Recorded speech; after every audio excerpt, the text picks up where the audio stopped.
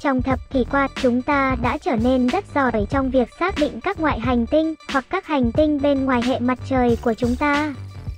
Trên thực tế, gần đây chúng ta đã vượt qua một cột mốc ấn tượng với hơn 5.000 ngoại hành tinh đã được xác nhận được phát hiện.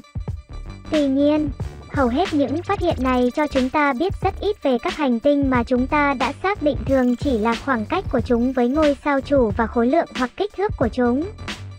Bước tiến lớn tiếp theo trong nghiên cứu ngoại hành tinh là tìm hiểu thêm về các hành tinh này và cụ thể là bầu khí quyển của chúng như thế nào. Đây là một trong những mục tiêu chính của kính viễn vọng không gian James Webb khi nó sẵn sàng cho khoa học vào mùa hè này, nhưng trong thời gian chờ đợi, các nhà nghiên cứu đang nỗ lực sáng tạo để trả lời những câu hỏi này. Gần đây, các nhà thiên văn học sử dụng dữ liệu từ kính viễn vọng không gian Hubble đã điều tra 25 ngoại hành tinh để tìm hiểu về bầu khí quyển của chúng. Hubble cho phép mô tả đặc điểm chuyên sâu của 25 hành tinh ngoài hành tinh và lượng thông tin chúng tôi biết được về hóa học và sự hình thành của chúng nhờ một thập kỷ của các chiến dịch quan sát. Căng thẳng thật đáng kinh ngạc.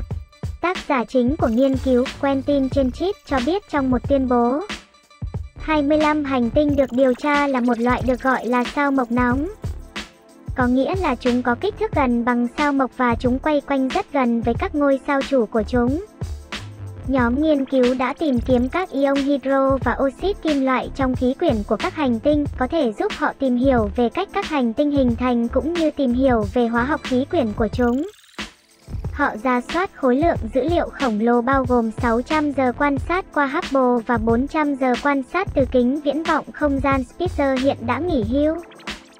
Xem xét nhật thực khi ngoại hành tinh đi sau ngôi sao của nó và chuyển tiếp khi ngoại hành tinh đi qua trước mặt nó ngôi sao.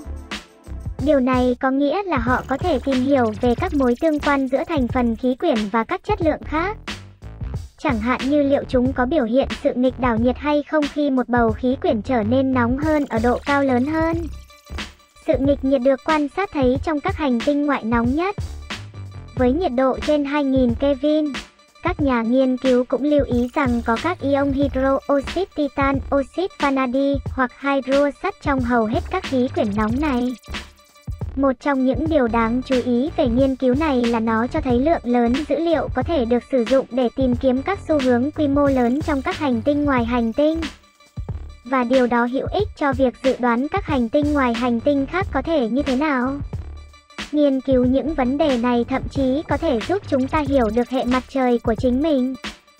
Theo trên chip, nhiều vấn đề như nguồn gốc của nước trên trái đất, sự hình thành của mặt trăng và lịch sử tiến hóa khác nhau của trái đất và sao hỏa vẫn chưa được giải quyết mặc dù khả năng của chúng tôi để có được các phép đo tại chỗ. Các nghiên cứu dân số ngoại hành tinh lớn, chẳng hạn như nghiên cứu mà chúng tôi trình bày ở đây nhằm mục đích tìm hiểu các quá trình chung đó. Những thông tin chú ý khác chúng tôi sẽ cập nhật bài viết lần sau. Rất mong sự ủng hộ của các bạn. Chúc các bạn vui vẻ. Xin chào, chia sẻ hữu ích nhé.